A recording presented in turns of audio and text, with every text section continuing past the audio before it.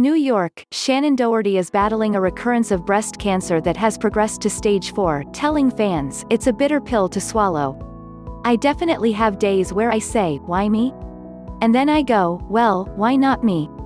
Who else? Who else besides me deserves this? None of us do. Doherty told Good Morning America on Tuesday. I don't think I've processed it. It's a bitter pill to swallow in a lot of ways.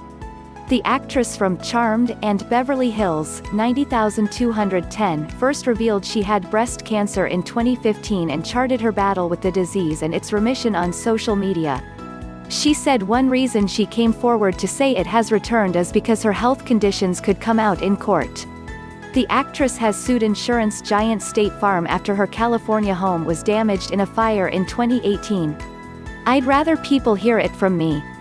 I don't want it to be twisted. I don't want it to be a court document. I want it to be real and authentic. Doherty said. I want people to know from me, I just didn't want them to know yet. Doherty, 48, has been working on a reboot of BH90210 and kept the diagnosis mostly secret. People with stage 4 can work too. Our life doesn't end the minute we get that diagnosis. We still have some living to do, she said.